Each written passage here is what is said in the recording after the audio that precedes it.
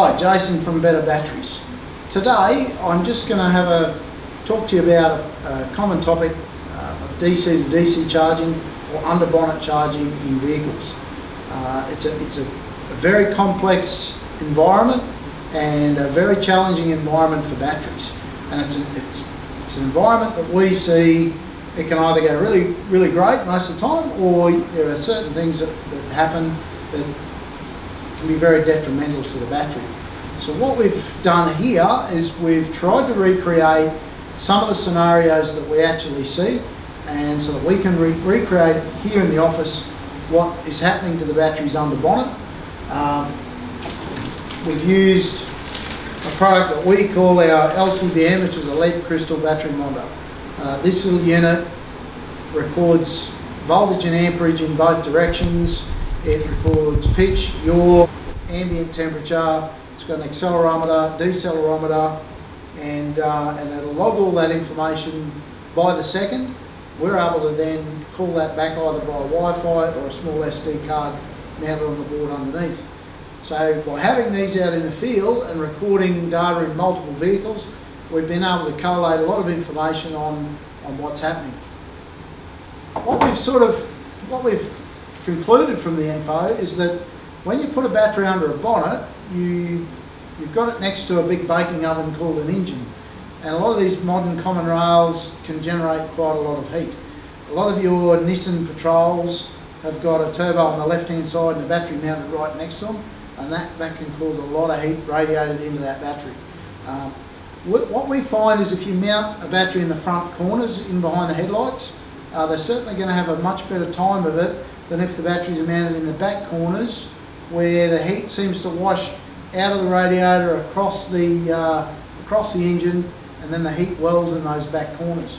So um, we find that the back corners is really not an ideal location to put batteries. Uh, probably V8 Land Cruisers would generate a lot more heat in that back corner than most, but generally speaking back corners we, we would consider a bit of a no-no. Um, I personally like the EVFJ range for bonnet. Uh, can be a challenge because some people think that the part numbering system is a bit small, but they're a high capacity battery. They're just a C3 rated battery which makes their part number small and they can certainly handle the punishment of full driving and, and they've got a very, very strong bus bar system. Uh, and they require a lower charge current than our CNFJ range, so it's always I always recommend them. What we've got here is we've made a little out of basically out of pallets, we've created a, an underbonnet situation. So we've got uh, a, a, standard battery that we're just treating as a, a, start battery, which is being charged by our alternator, which today is uh, is being powered by the Sterling 40 amp, uh, which we want to undercurrent it a little bit because oftentimes people think I've got a 180 amp alternator, but they don't always put out 180 amps. You often put out about 60 and you've got to power the vehicle. So sometimes you may not have more than sort of 30 or 40. It doesn't really matter because we're going to be producing that through a 25 amp DC to DC, so so the, the 40 is going to provide enough power, and if the, the DC to DC charger needs more, it'll take it out of the battery anyway. So that's our start battery side and charging. That start battery then comes up into the box, which we've now heated. You can see here that that's at 90 degrees today. Uh, we're holding this box at, at, about 90. I've got a um, halogen bulb on the inside and a ceramic heater on the back that's forcing air through a duct. And then we've got a little fan in there circulating it around. We actually mounted the DC to DC charger up in that environment as well. And that's quite common, it's commonplace. People put the DC to DC in the engine bay next to the battery and of course it'll suffer that ambient temperature heat as well.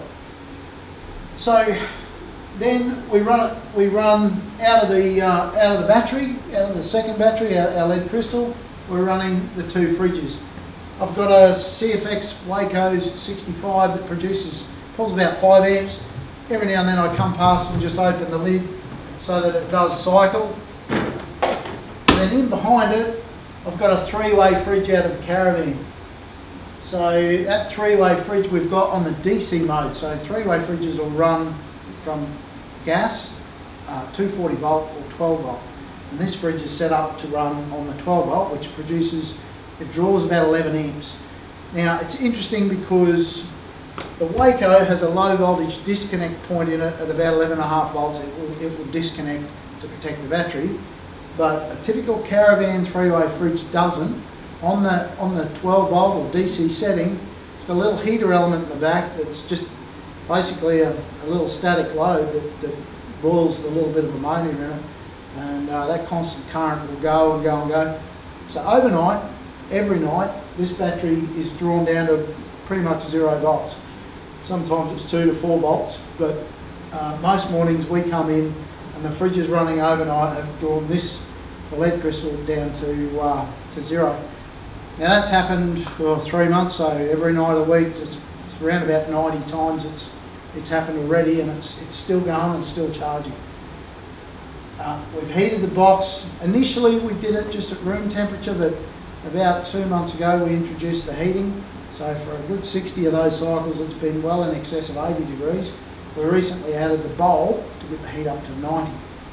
So that's the system, and, and as you'll see, uh, this is part of our internal R&D where we, we get to know not just more about our battery, but also how various DC to DC chargers interact, and then we're able to interact with the engineering teams for those companies to make some recommendations. What I'd like to do uh, is just run you through the scenario here and why the battery gets put under so much pressure. Uh, and this, this is a fairly common scenario. So this might be in the back of the car, sometimes set on freeze to act as my refrigerator. And my three-way fridge is, is, connected via the Anderson plug in my caravan. And uh, I might stop at a free camp overnight. Sometimes people don't flick them back over to gas, they just run off the battery overnight and it can be there long, you're going to drive all day tomorrow. What's interesting is once that battery gets down below sort of 3 or 9 volts, depending on the DC to DC charger, it can't see any of the batteries. It might see the start battery, but it can't see the second battery. So in the mornings, we have to jump start this battery to get the DC to DC to start charging again. Now, the little scenario is I sit in a free camp overnight, I've sat there, I've run my batteries down quite low. Uh, I wake up in the morning, I think, well, that's okay, I'm going to drive today. My DC to DC charger will replenish my battery. Well, oftentimes I could drive all day and I'll end up with hot food and a flat battery because the DC to DC charger didn't see the battery because it was below that 9 volts. So that's just something to watch.